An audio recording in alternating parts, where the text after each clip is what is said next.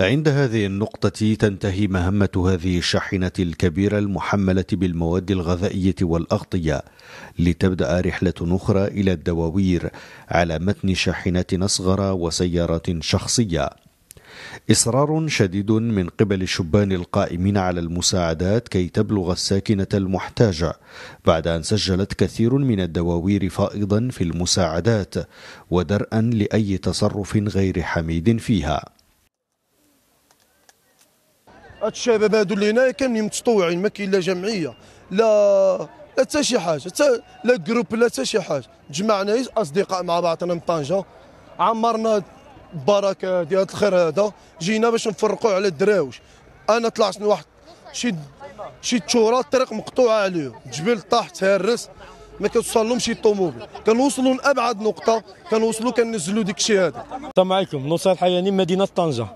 حنا هذا رجعنا في الأول كنا كنعطيو بيكو باس كيطلعوه من التشار صدق شنو جبرنا داكشي كيديوها غير واحد التشار كيعمروا كلشي في واحد الموطع.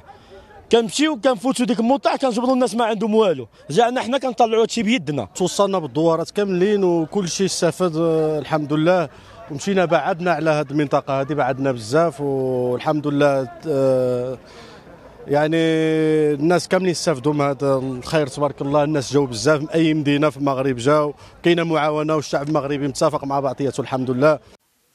بكثير من الإصرار تواصل قوافل المساعدات تقاطرها على منطقة تفنجولت تفريغ ثم تحميل للمساعدات والوجهة أبعد الدواوير وأكثر احتياجا في الإقليم. في ذات الوقت تسهر مؤسسة محمد الخامس للتضامن على تنسيق عمليات الإغاثة والعون.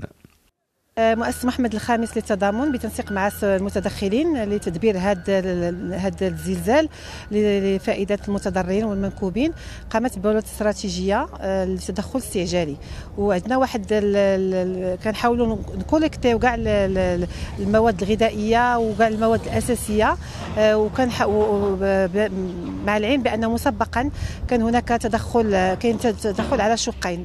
آه، اولا جوي لتمرير المساعدات لإيصال المساعدات اللازمة. كذلك لإجلاء الجرحى المستشفى الميداني العسكري اللي كاين هنا في الجامعة اللي كاين هنا في القياده آه، كاين عبر الطريق كذلك الفرق آه، آه، كنمشيو كنشوفوا الدواوير كنعطيوهم المواد الأساسية الأولى كنعطيوهم الخيام الأغطية الأفرشة. كنحاولوا نديروا لهم واحد واحد الدعم نفسي. درنا واحد الإسعافات الأولية بالنسبة للناس لا يستدعي حالة تاعهم التدخل الاستعجالي للمستشفى. وتتوجه اهتمامات فرق التدخل في هذه المرحلة نحو توفير الملاذ الآمن والخيام للساكنة بدون مأوى في انتظار انطلاق عمليات الإعمار.